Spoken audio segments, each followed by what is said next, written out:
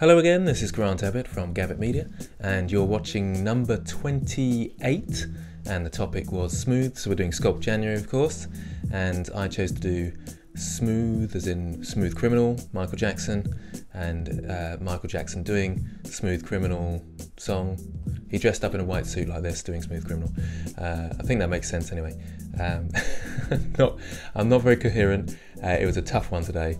Uh, lots of errors from my part and uh, possibly glitches from Blender 2.8. So uh, right at the end of the day, uh, cutting it fine uh, and uploading, and it is still a bit rough to be honest.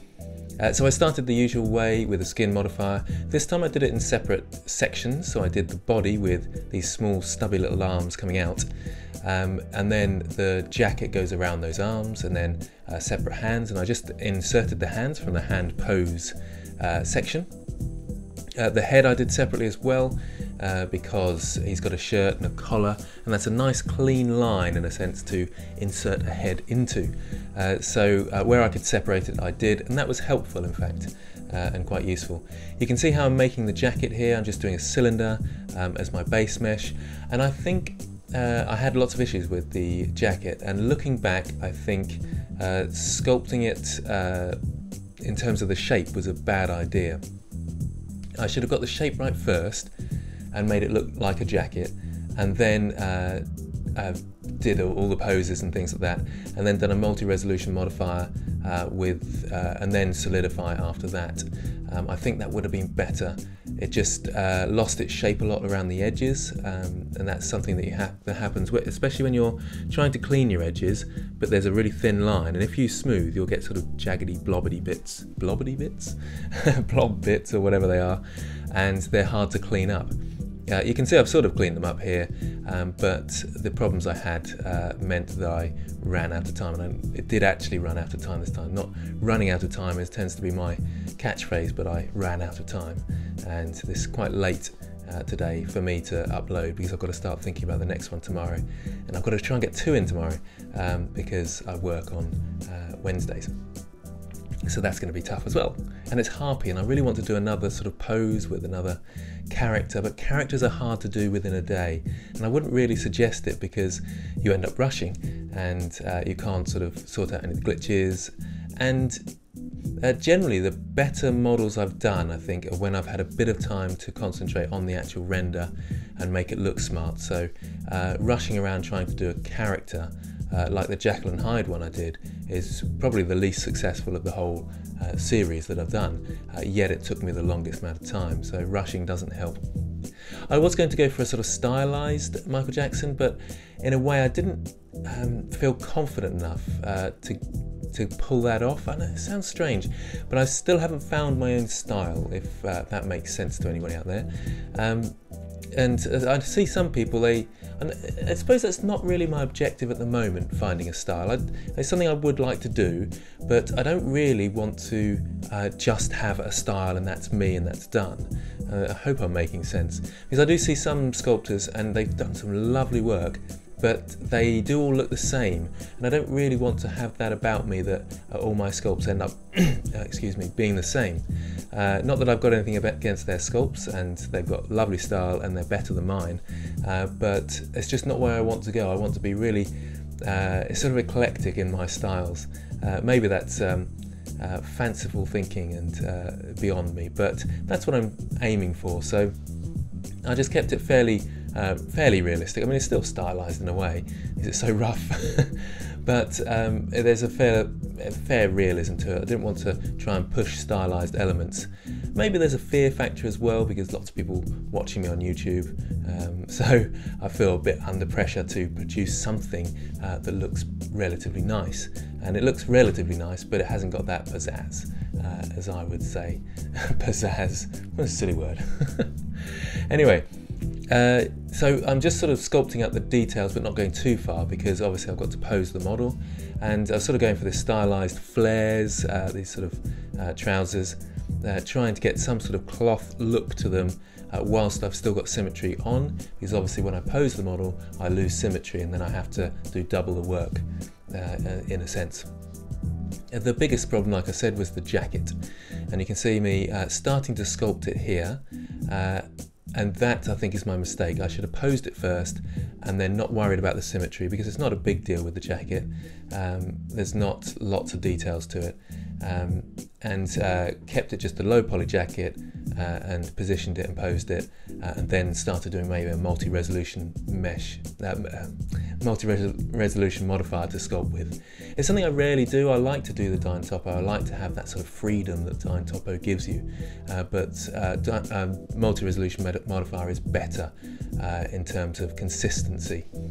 and all retopology and all those sort of things. It's much nicer for that sort of thing. Uh, so I'm getting just generally the shape here. I had problems with the skinning uh, with the jacket because uh, you can see what I've done here. I've created um, this sort of, um, it's not solid in a sense, it's a flat surface, but then I did a solidif solidify modifier to it. So it's got a very slight thickness uh, because of all the sort of holes in it and it is cloth. Uh, but when I went to skin it, the insides of the mesh, so let's say my um, jumper is the jacket, the insides didn't uh, follow the bone weight. Uh, I don't know whether that's a glitch in 2.8. Uh, it's something I've not really done a lot of, is, is clothing like this. Um, so it could just be that it, skinning doesn't work like that in some way. I, I, can't work out quite what I did. What I had to do in the end was delete the inside mesh that was within the um, jacket, uh, or some of it anyway. Um, obviously, I couldn't delete it all because you see some of the inside meshes. It was a tricky one anyway.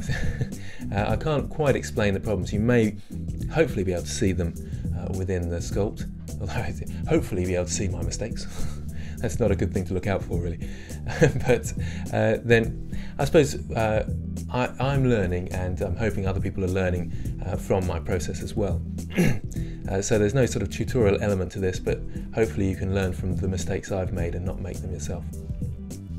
I'm still enjoying the uh, sort of more hard surfacey brushes uh, by changing the weight of them, uh, sorry, the strength of them, and uh, the, with the pinch and uh, the crease brush. so I'm getting quicker at those elements, which is nice. And the shoes are kind of fun with these sort of uh, Smooth Criminal shoes. He's got this sort of white, I don't even know what they are. They're sort of things that go over the top of the shoe. It would have been nice to have painted actually because it's a, uh, it's a black and white suit, mainly white. Uh, but the black elements would have been really nice to have put in. Uh, but like I say, I ran out of time. And uh, I think that would have made this look a lot better. Uh, some sort of just just that element of black and white would have finished it off and it would have looked more like Michael Jackson as well. I couldn't get the face to look like Michael Jackson at all and you can see me modelling it here. And uh, well, I suppose in a sense, the reference images, uh, depending on what time you get uh, a reference image of Michael Jackson, his face does tend to change slightly. Uh, so uh, it was tricky uh, to figure out which um, reference image to use and get the right sort of side view and front view.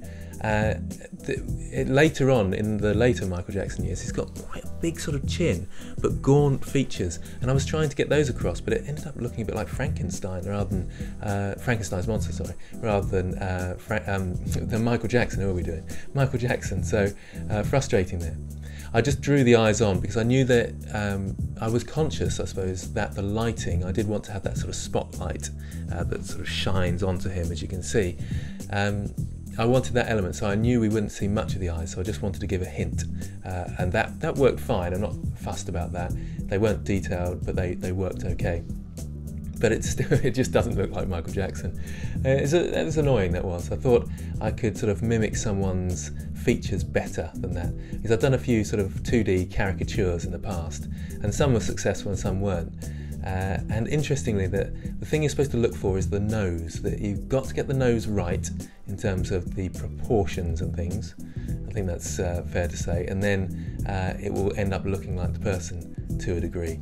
I don't know how true that is. That's what I uh, learned and read and things. But uh, it was hard today. I suppose his hair is quite iconic as well, and I didn't do the hair until much later. And the hair is a little bit rushed, as you can see. Looks a bit blobby. Everything's blobby with my work. That is something to bear in mind, I suppose, uh, that uh, a more professional looking sculpt has that sort of finishing touches, which this sculpt doesn't. And it is uh, using the pinch brush uh, to good effect and upping your resolution. So I suppose uh, people using ZBrush, they're probably going to find this a bit easier uh, because they can go a higher resolution and not have any lag. Um, but I suppose um, also getting used to the tools because you can turn Dyntopo off and do your crease brush and it will give nice clean lines. And it's not uh, too difficult to do that um, and it's something uh, that I should always be doing. I suppose I get sometimes get to the stage where um, you think, okay, I've had enough of this one, I need to move on. Uh, and that's fair enough with this challenge that we're doing. We're doing it daily challenges, but it is good to really finish a sculpt sometimes and think, yes, that's perfect now. Uh, I haven't felt that any of mine have been perfect by any means yet. But sometimes I look at some online and think, yep, that is fantastic. Uh, I suppose uh, for daily challenges that's very tough, isn't it? Uh, and uh, I'm probably spending more time than most people really, um, because I feel like uh, people are watching me and I'm putting lots of effort into this challenge, uh, whereas most people only have about an hour or two. You can see I had a fair few crashes, pauses, and things, and this is I should have decimated before skinning. That um, uh, do, doing the rigging and skinning. Uh, that was a bit uh, naive of me to think that that was going to go smoothly. Uh, so there's a long pause there, sorry about that. Uh, you'll see a few of those now because there is a bit of lagging. And you can see the glitch that I'm getting there. And I thought it was uh, my base mesh underneath the um, jacket. I thought that had just been pushed and pulled around, but it was actually the jacket, so I should have sorted this out much earlier. But I just was uh, hoping that it was something that it wasn't, unfortunately. So I had to go back and remodel the jacket, as you'll see later. You can see I've actually copied the head, so he's got an extra head sitting on the side there. But that's so uh, that I can position the head now, uh, and then if I do want to do any um, extra detailed sculpting on the head, I could just go back to it and then place it in because it is it's not particularly posed as such. I have put it attached it to the rig and it is uh, skinned in. You can see I had problems with the hand skinning there. I don't know what happened, but something went wrong, so I was unable to rig the hands properly. It was a bit of a shame. But anyway, the head. Um, in the end, um, I thought actually if I want to do any symmetry, um, I can probably do that uh, the Zacharias Reinhardt trick where you sort of uh, recenter your object uh, and that's quite a clever idea. So uh, you line up your axes with an empty and then uh, attach it to it and make that the center of your object, and then you suddenly got symmetry again. It's quite a clever idea that, and I'll try and remember to put a link in the uh, description, but I probably won't today because I'm so shattered. I'm hardly getting my words out. Uh, teaching was a struggle. Uh, someone asked me uh, about how many uh, Macs have you got in your room today, and I was counting them up, and I was. It took me half an hour to count up a few uh, Macs. We use Macs at work uh, in, in our school. I'm rambling now. I'll stop there. Stop it. Stop it. no excuses. Anyway, so you can see me working on my jacket, and then realizing that it's failed completely. Then I tried reskinning and you can see the glitches I'm having and they're all over the place. I have seen a few posts online where people are complaining about 2.8 with the skinning, but then there's lots of people complaining about stuff in 2.8. I shouldn't say complaining, they're pointing things out that aren't working. Uh, and it's, it's, sometimes you think it's complaining, but it's, it's fair enough. People are saying, well, what's going on here? Uh, and I do completely understand. Uh, so uh, maybe that's not set up yet, or maybe I've done something wrong there and it's a basic mistake. I haven't done much uh, weight painting, generally speaking, and uh, I, am I new to it? Not new to it, but um, I don't know all the nuances of it certainly, and I've never done anything that's got sort of two layers like a jacket, or this jacket has anyway, which again uh, is a mistake. Uh, so I could have just done a low poly version and uh, rigged that and then done a multi-resolution modifier which would have been better, um, I'm sure. And you can see I'm deleting that inside face uh, just to make it easier on myself. I took it out to Instamesh as well uh, to retopologize it uh, so that it had um, less faces uh, so that the um, the skinning and rigging was going to be easier and it ended up being okay at this point so I'm kind of happy that it worked out roughly. Uh, I mean, you can see that it, it's it's not a great uh, skinning job by any means, uh, but uh, it's easier just to sort of adapt the sculpt from that point than it is to try and weight paint uh, really um, well and stuff. I brought the hat in from uh, the other and Hyde uh, sculpt that I did. I just wanted to quickly get meshes that I knew were roughly working and then reshaped it a bit. It was just a quicker starting point, uh, and that's it seemed to be a good idea to do that sort of thing uh, with the lack of time I had. And I'm just sort of pushing and putting it into place. Uh, and it's there was, I saw lots of I saw some artistic uh, renders, uh, drawings of Michael Jackson doing a sort of smooth criminal thing, and they some had sort of very straight hats, some had sort of uh, rougher hats, and uh, I tried to mimic uh, the more sort of rough, uh, what are they, um, not so rigid ones, uh, because I thought they looked cooler, but it ended up looking a bit, I don't know, it didn't quite work, the hat. There was something about it. And I really should have done a ribbon around them, so it's got that sort of black sort of halo around the, the, the rim there, um, or the the hat bit, whatever you call it, uh, that bit, you'll know what I mean. Uh, hopefully, I'll put a reference image up, and then you can see what I'm aiming for at least when I'm saying all these references. Uh, they'll actually make more sense. So, uh, still sorting out that jacket, uh, that nightmare jacket. Uh, it was fun at this point. It became fun, but it was because suddenly you can see a bit of action in the pose. And someone posted recently, and they, and, and I appreciate the sort of criticism uh, and it was constructive criticism. It wasn't sort of slagging me off and telling me how rubbish I am. But they said, um, I feel like your sculpts are lacking weight. And I thought long and hard about that, and I thought, yes, they really are, aren't they? Um, they don't seem to have that action about them, that sort of uh, that dynamic feeling where they're really moving. They look very wooden, uh, sort of plastic lump just stuck there, uh, and I'm not getting that weight right. And they were talking about how um, they felt you should start off with the bone structure first and then build on the bones and build the muscles second and then uh, the clothing last, I'm assuming. Uh, and I thought, well, that, that's a long process. I haven't quite got time for that. I'm, I'm kind of doing that to a degree, but I'm going straight to the sort of muscular systems and then counting on my uh, skeletons or rigs to push them into place. And I think there is limitations in that. Uh, I'm not sure I completely agree with them about that setup, but uh, they are right. So um, I should certainly, uh, I'm certainly uh, viewing it with a lot of respect. Uh, that I need to work on that, uh, and I've got to figure out how to work on that uh, by myself in a sense. so yes, getting that weight right is my next thing. Yeah, making it look.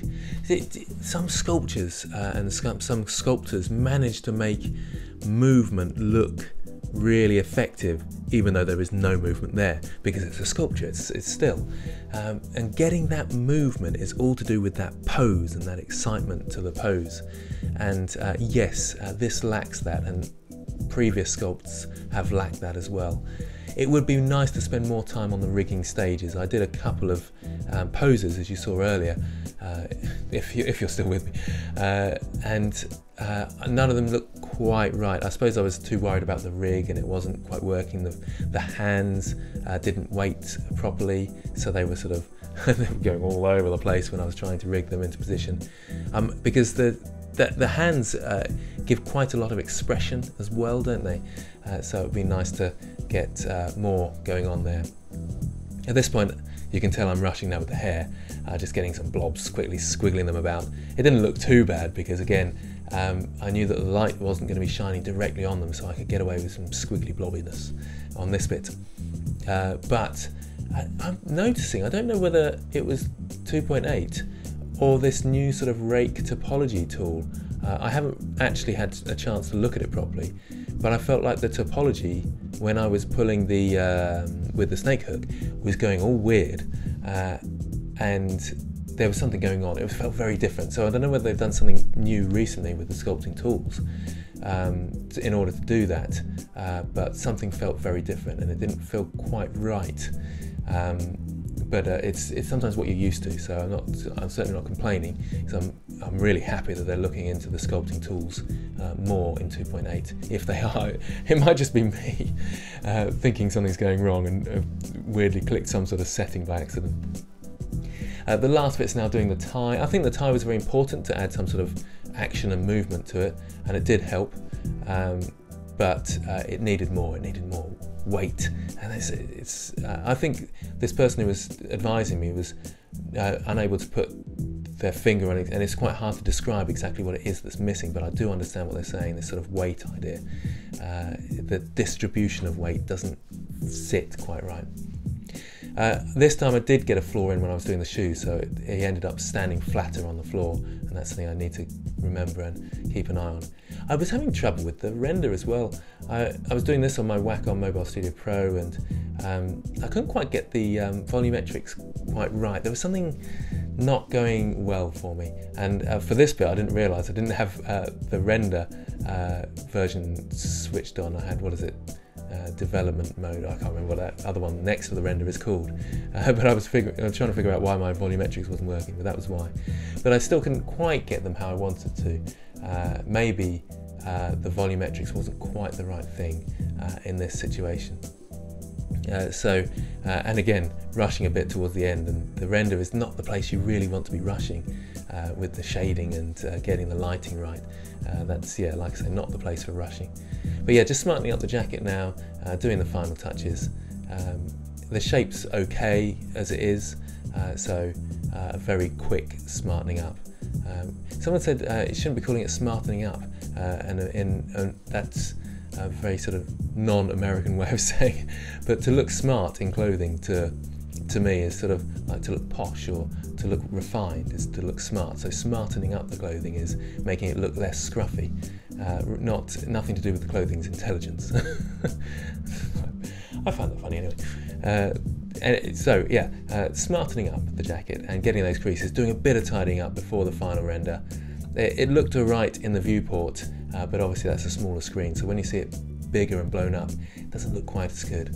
With the volumetrics, I did put a, a and Musgrave texture combined to try and make that uh, volumetrics look more interesting.